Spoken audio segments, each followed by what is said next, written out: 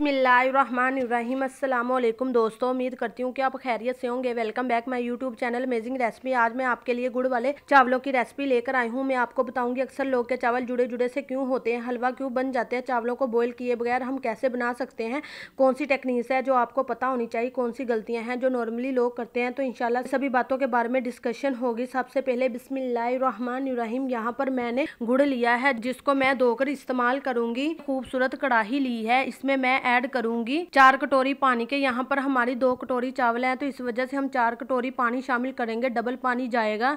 इसमें पानी नेम गर्म हो जाएगा, फिर हम इसमें 400 ग्राम गुड़ ऐड कर देंगे। अगर आप चाहें तो इसके छोटे छोटे पीसेस भी बनाकर ऐड कर सकते हैं। हमने इसके छोटे छोटे से पीसेस बना लिए हैं, क्योंकि ये पानी में जाते ही घुल जाएगा। यहाँ पर हमारे पास है वन तहाई कप लेंगे घी। अगर आप चाहें तो कुकिंग ऑयल भी ले सकते हैं।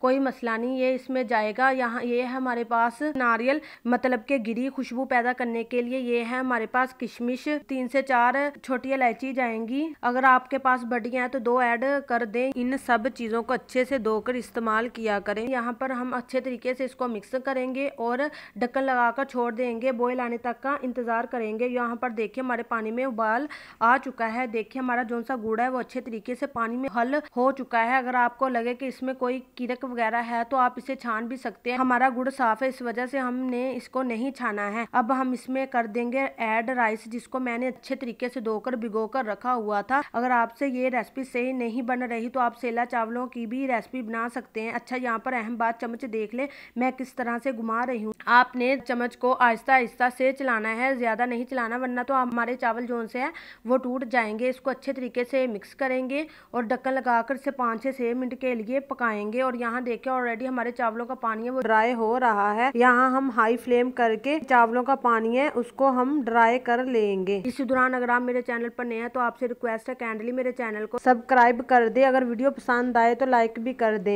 अब इसके ऊपर दम लगा देना है, नीचे मोटा सा तवा रख देंगे, जिस पे रोटियाँ बनाते हैं। ऊपर इस तरह से रुमाल को इर्द गिर्द ढक्कन के लिए बैठ देंगे, ताकि जो इसकी स्टीम है, वो बाही ना निकले। तकरीबन चौदह से पंद्रह मिनट दम देना है। और चले जी, बिस्मिल्लाहिर्रहमानिर्रहीम। और उसके बाद माशाल्लाह देखिए एक एक चावल का दाना आपको अलग अलग नज़र आ रहा होगा। ऐसा क्योंकि हमने सभी पॉइंट को अच्छे से फॉलो किया था। देखिए, माशाल्लाह, इसका कितना खूबसूरत कलर आया है। आप भी इस तरीके से बनाएँगे तो आपके भी गुड़ वाले चावल बहुत अच्छे बनेंगे। आई होप कि आपको मेरी ये वीडियो बहुत पसंद आई होगी। अगर पसंद आई है तो लाइक कीजिए शेयर कीजिए चैनल को सब्सक्राइब करना मत भूलें।